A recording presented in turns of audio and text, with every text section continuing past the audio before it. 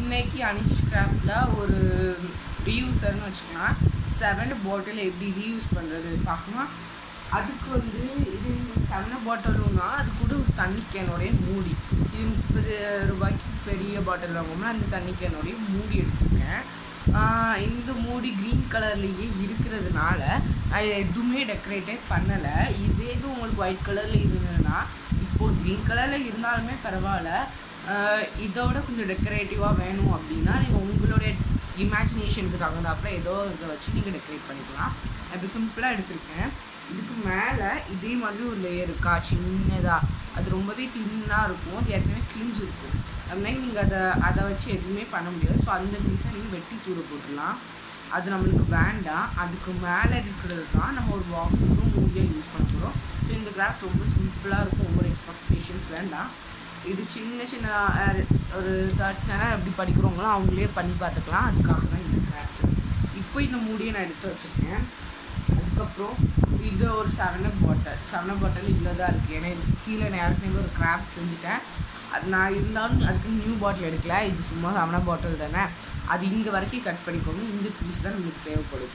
இப்போது நீங்கள் வந்து இந்த இந்த செவனப் பாட்டிலுக்கும் இதுக்கும் இந்த மூடி சீட்டிங் ஆகுதான்னு பாருங்கள் ஆஹா உள்ளே போயிடும் அதனால பட் அங்கே வர வர கொஞ்சம் சின்னதாகுதா?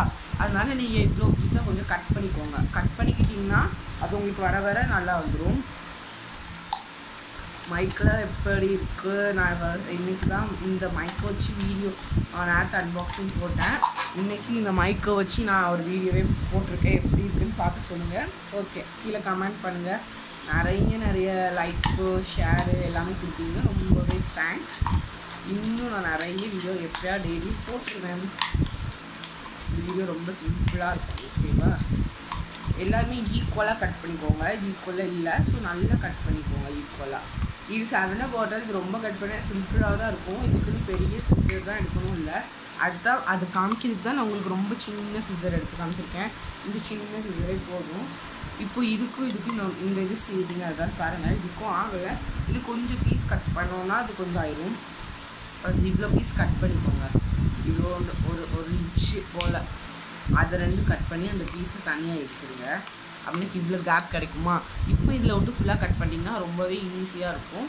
ஓகேவா இது என்னதுன்னா ஒரு சின்ன பாக்ஸ் தான் அந்த பாக்ஸ் வந்து செவனா பாட்டிலில் நம்ம அழகாக செஞ்சிடலாம். செஞ்சிடலாம். பட் செவனா பாட்டில் தான் பண்ணியிருக்கோம் இதில் சின்னதாக இருக்கும் ரொம்ப எவ்வளோ பெரிய பாட்டாலும் அது இந்த மாதிரி சின்னதாக இருக்கும் இப்போ அதை வந்து இந்த இதுக்கு சீட்டிங் ஆகுதா? இந்த மூடி மூடுதான்னு பாருங்கள் கொஞ்சம் டைட்டாக பண்ணி மூணுனாலும் பரவாயில்ல. அப்படின்னாக்கி தான் நம்மளுக்கு வந்து இது அந்த மூடியில் ஏதாவது போட்டு வச்சுருந்தோம்னா அது அவ்வளோ சீக்கிரமாக இல்லாது. பார்த்தீங்கன்னா இப்போவே அழகாக தெரியும்.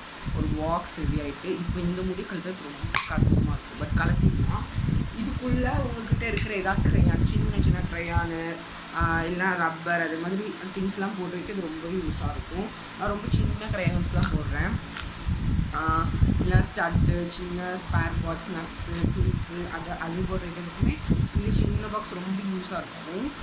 இது பார்த்தீங்களா வெறும் செவன் பாட்டில் நம்ம அதுக்கு கீழே தான் மோஸ்ட்லி கிராப் செய்வோம். இந்த ஏரியாவை நம்ம என்ன பண்ணுவோம்னா அவ்வளோ யூஸ் பண்ண மாட்டோம். ஸோ தூர தான் போடுவோம். பட் நம்ம இப்படி தூர போடுறதுக்கு பதிலாக நம்ம இதை மாதிரி ஒரு சின்னதாக ஒரு பாக்ஸ் ரெடி பண்ணிக்கலாம்.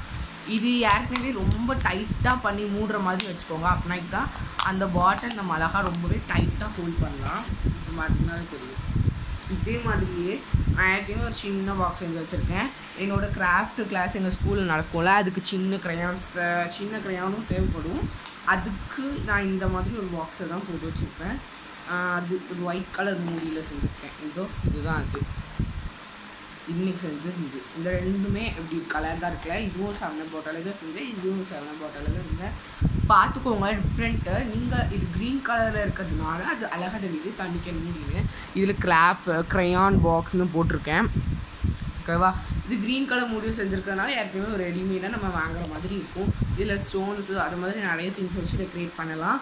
என்ன ஃப்ரெண்ட்ஸ் இன்றைக்கி பார்த்த வீடியோ உங்களுக்கு ரொம்பவே பிடிச்சிருக்கும்னு நினைக்கிறேன். ஸோ பிடிச்சிருந்தா அன்சப்ஸ்கிரைப்டை சப்ஸ்கிரைப் பண்ணுங்கள் லைக் பண்ணுங்கள் ஷேர் பண்ணுங்கள் ஓகே நெக்ஸ்ட் வீடியோவில் பார்க்கலாம். பாய் பாய் பாய்